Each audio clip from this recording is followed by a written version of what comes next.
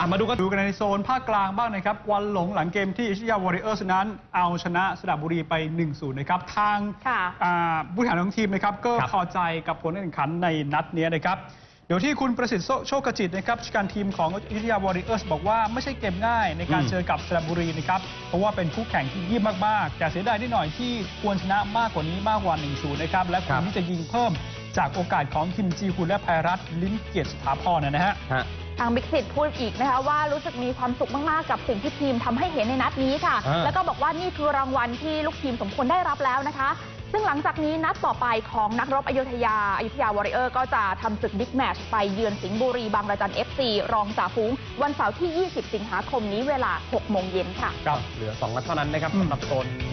ภาคกลางครับครับค่ะว่าอยุธยาจะคว้าแชมป์ของโซนนี้ไปครองได้หรือไม่นะครับในโซนนี้เจอกับทีมรองจ่าฝูงด้วย